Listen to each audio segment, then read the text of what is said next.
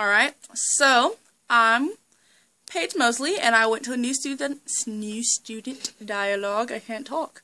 But in my new student dialogue it was talking about I'm sexy and I know it, strong men and beautiful women. I I try to show you the example of a strong man and a beautiful woman with my friend Tamira, who's I can't show you because the camera's being weird. But, uh, oh, this is starting from the beginning, so this is lovely. You can't even see the examples that I was going to show you. You But- can edit them in. Wait, what happened? No, I guess I started a new recording somehow. I don't. I can't tablet yet. It's been two. Yeah, I was like. I don't You'll know how to to work it. I don't know how to work it. Anyways, so my my I tried to show you a real life example of a strong man and a beautiful woman, or at least what the stereotypes of a strong man and a beautiful woman are. And we consider strong men to be, I don't know, gym worked out cut, things like that.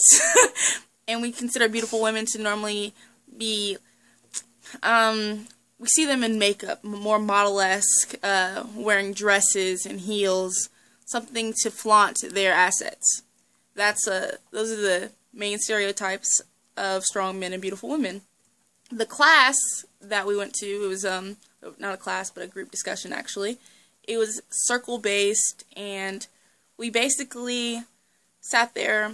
We started with an exercise of what everybody considered to be a strong man or beautiful woman. Like everybody had to write something down, and most people, the first thing that most people would say like was is a celebrity, because we generally think that celebrities have a sort of not a power exactly, but a good an aura around them that makes them more appealing to the eye.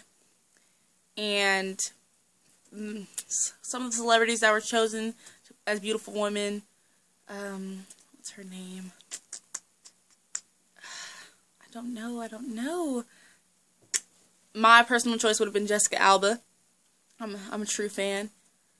Maybe even Ni- Nina Dobrev. If y'all know who Nina Dobrev is, psh, that's a beautiful woman right there.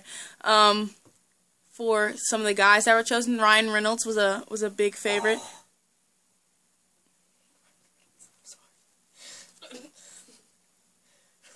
I don't know what to say right now. I don't. I don't even know what to say.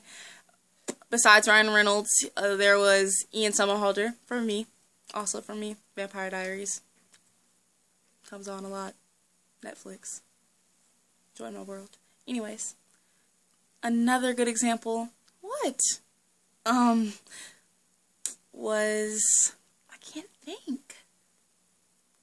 I can't tell you, but oh yeah, Hugh Jackman, X Men, Wolverine. What about Get on. Leonardo DiCaprio? I don't know if it was in there, but Mm, Leonardo DiCaprio was chosen for his face, you know, but nobody really considered him a strong man. I consider him perfect. Anyways, women, well, strong women, besides Jessica Alba, or not strong women, beautiful women, besides Jessica Alba, and um, maybe even I don't know. I really can't like give you examples of women, probably because women are more often able to give examples of men, and guys are more often able to give examples of women. But Bar Refaeli, she's a fa- famous Israeli model, very You're not running through mud. now I'm going to show you an example of a strong man and a beautiful woman. Hold on a second. Begin. And sit-ups.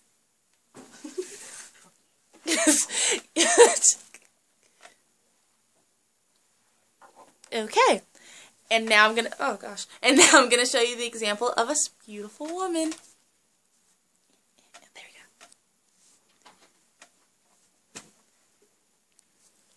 Was that good?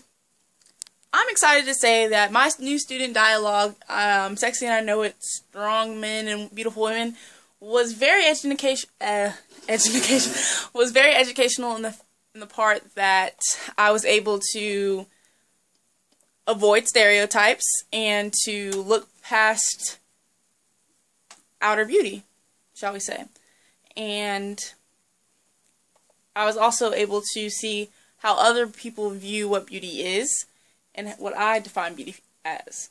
And I I don't know what I'm going to apply this to later on yet, but at least I have some knowledge to go on go forth from now on. Thanks.